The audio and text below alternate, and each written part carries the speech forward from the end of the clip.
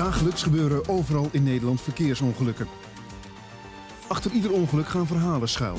Verhalen van mensen die elkaar niet kenden, maar door een noodlottige confrontatie opeens veel met elkaar te maken kregen. De ongelukken zijn waar gebeurd en zorgvuldig gereconstrueerd. En de betrokkenen hebben zo mogelijk meegewerkt aan de reconstructie. Vooral om anderen te laten zien hoe een heleboel leed voorkomen had kunnen worden.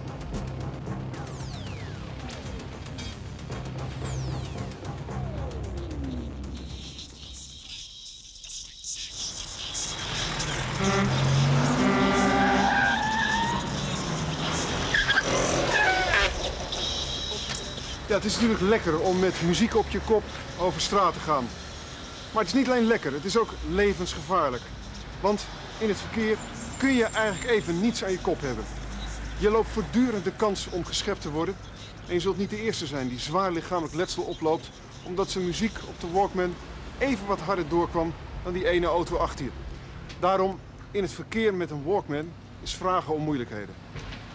Dus in het verkeer reageer je ook op wat je hoort. Wordt er nou altijd goed gereageerd op bijvoorbeeld ambulancewagens met sirene? Er zijn vaak mensen die een uh, autoradio in de auto hebben met uh, van die grote boosters. Die nog heel wat volume produceren. En daardoor horen ze het, geluid van de drietonige horen niet. En zien op het laatste moment was in een flits, de achteruitkijkspiegel, een paar flitslampen. En ja, dan zit je dus al vrij kort erachter. En dan reageren ze dus heel snel door op de remmen gaan te staan. Hè? Heb je pina aan de kop? Ik heb het. Ja? Dus even kijken. Even. Heb je weet er niks? Nee, pina aan de been? Pina aan de arm? Nee. nee. Dus dan rustig zitten, de ambulance kunt er zo aan. Hè? U bent de bestuurder van deze auto? Ja. ja? Kun je mij zeggen wat er is gebeurd in het kop? Nou, hij, hij kwam daar in één keer van de parkeerplaats af en uh, toen moest ik uitwijken en uh, ik hier tegen die auto aan. En deze bestuurder is uh, van deze kant, uh, van die kant.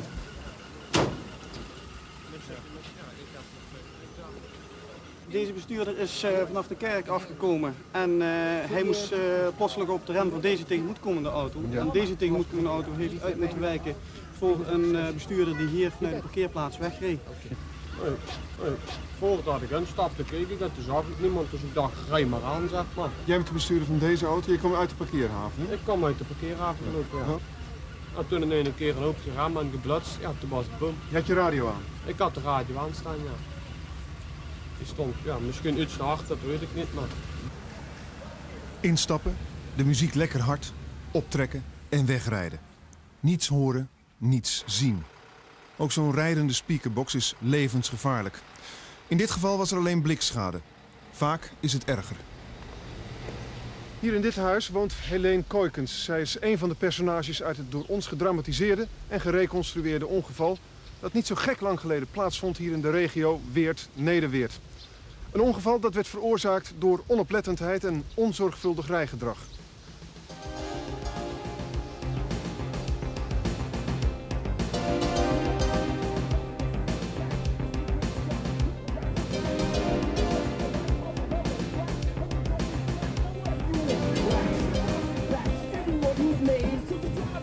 We don't see the same. We gonna break it after record. It's all the same about who can roll up, who's so pain. So the rock back to telling you what's good. The so clear on the land when it's not the floor. They'll be no more about fame. and glory. The rock back in the name of history. The rock.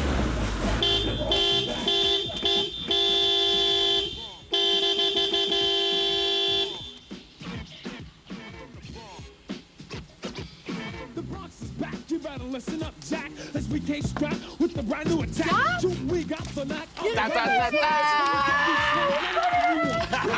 Hij zit maar. And we won't use names to...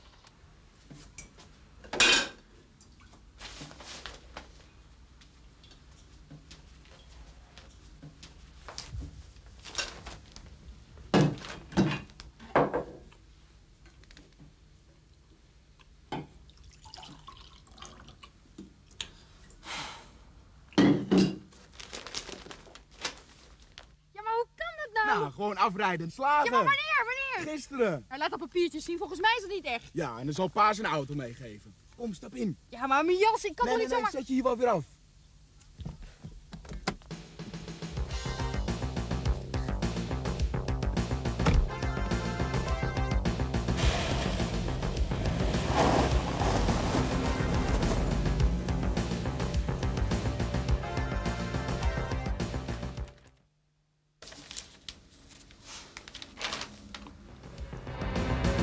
Gedacht dat jij in één keer zou slagen. Nou, waarom niet? Tuurlijk slaag ik in één keer.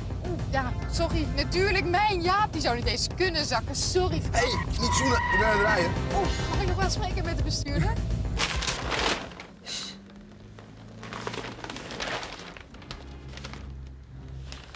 Herman? Shit, hé.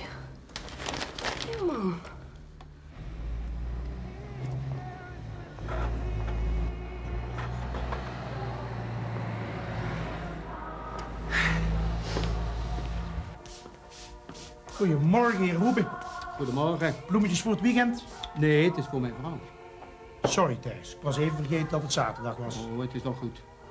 Ik had gedacht dat deze keer wat vaste planten bij te zetten. Oh, loopt u maar even mee. Ik heb van de week wat moois spul binnengekregen. Kijk eens hier. Zeg, je, je zal die van Steuten nog wel tegenkomen op het kerkhof. Van Steuten? Ja, die, die jongste, Herman. 22, zomaar ineens. Niet die donkere Luc, maar Herman. Ze zeggen zelfmoord. Hij studeerde in Amsterdam. En je kunt je natuurlijk wel voorstellen, zo'n jongen uit het dorp in de stad.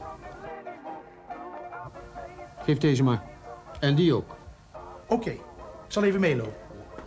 Dag, meneer Roebe. Dag, mevrouw Winters.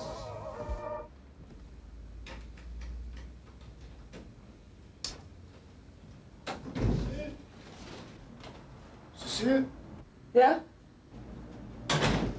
Die cocu die zak die waren nergens meer te krijgen. Dus ik heb mijn oesters genomen, dat lijkt er volgens mij het meest op. Wat is dit? Wat? De outfit? Ik moet weg, ik moet naar mijn begrafenis. Daar weet ik niks van. Ik wel, kijk maar op tafel.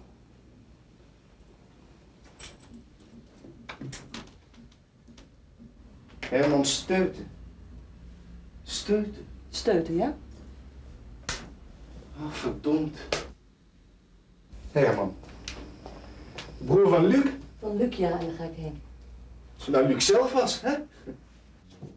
Allemachtig, wat een opmerking, zeg. Word nou eens een keer volwassen, jij. Herman is dood. Herman. En begrijp je dan niet wat dat voor Luc betekent? Ja, sorry, maar het is gewoon zo. Als jij Luc weer ziet... Als ik nou toevallig een relatie met Luc heb gehad, dan betekent dat toch nog niet dat ik niet naar de begrafenis van zijn broer zou kunnen, Alfred. Dat kan dan wel zo zijn, maar wij krijgen vanavond mensen te eten. En vanmiddag zouden we bij mijn ouders langs. Alsof dat zo belangrijk is als iemands broer is overleden. Ik wil gewoon niet dat je die Luc nog ziet. Dan wil jij dat maar niet.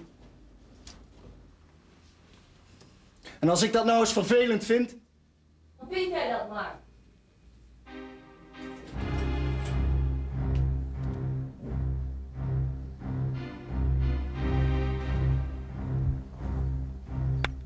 Applaus. Dank u, Applaus. dank u. Hey, ga nog even mee naar binnen, dan kun je het gelijk aan mijn moeder vertellen. Nou, eh, ik zou op tijd weer terug zijn. Ah, één kopje koffie. Nee, echt niet. Mijn vader en moeder moeten nog boodschappen doen en vader vermoord als ik niet op tijd ben. Zie ik je dan nog vandaag? Ik, ik, ik bel je nog wel, oké? Maar je hebt toch verder niks afgesproken, hè, voor vandaag? Nee, dat niet. Nou dan. Ik moet nu echt gaan, oké? Oké, maar nu eerst, nu we stilstaan. Vooruit. In een auto, wauw.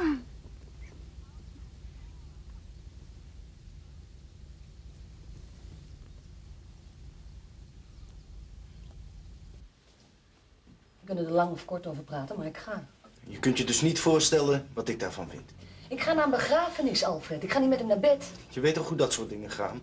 Oh ja, hoor. Dat is de afgelopen twee jaar ook zo vaak gebeurd, hè? Wees nou eens niet zo ontzettend onredelijk, Cecile.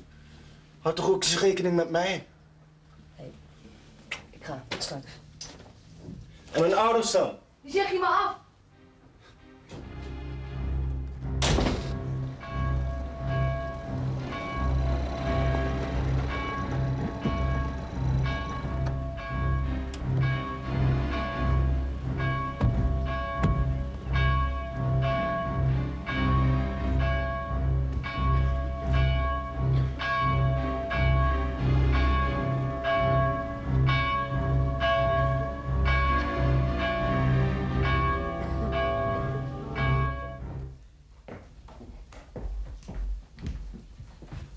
Net op tijd, jongen.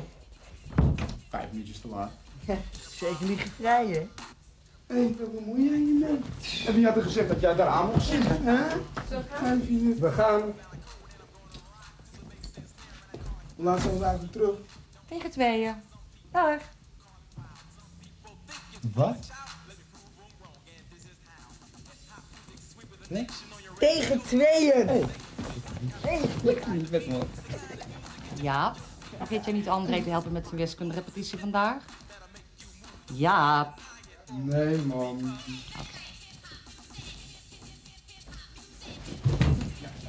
Nee, echt? Ja, ik hoorde het ook pas vandaag. Oké, maar ik moet snel ophangen, want ik moet nog andere mensen bellen. Om kwart voor twee in de kroeg. Ja. En dan moet je er wel zijn, want Jaap is er dan om half drie. Natuurlijk weet je van niks, anders is het toch geen surprise party? Snuggel hoor. Ja.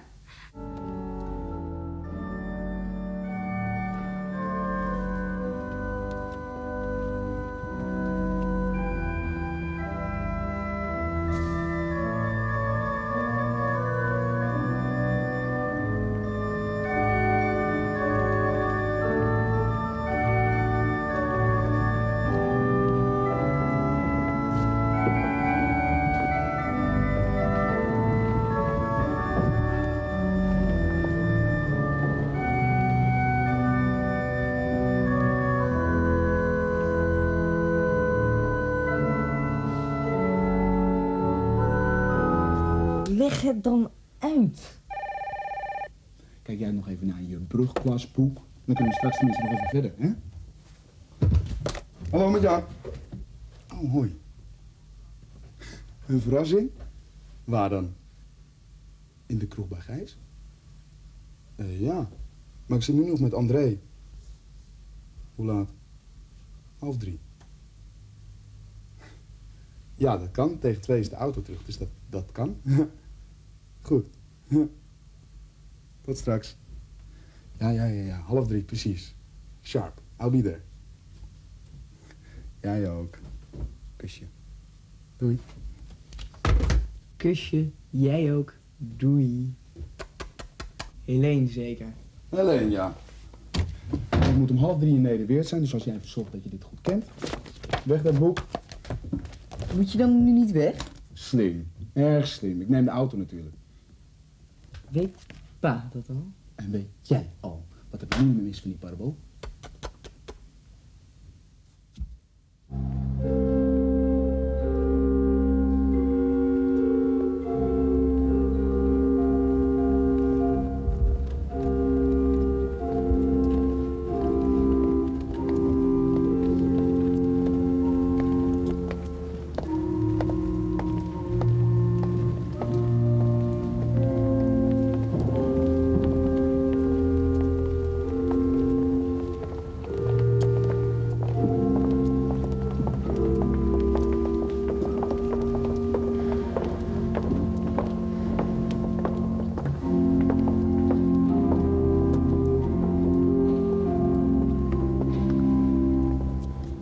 Ja, dus dit is rond. Snap je dat nou? Ja, nou, zo heb ik het geen zin meer hoor. Ik stop ermee. Tien over twee. Waar blijven ze nou? We moeten nog een hele toets doen hoor. We? Ik zit hier alles om te maken hoor. Ja, omdat ik ze niet begrijp. Ja, omdat jij niet wil luisteren, daarom. Nee, nee, omdat jij eh, er snel vanaf wil zijn. Jij moet naar de kroeg. Nou, je belt Koen maar. Dus als dit... Hallo? Zo heren, alles rustig? Ja, staat er nog meer in de auto? Ja, ja. Ik help wel even uitladen.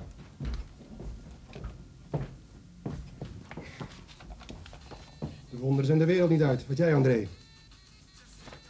André! Wat? Is je wiskunde af? Eh, ja, we zijn klaar. Maandag een negen, hè? Nou, een zes. Min.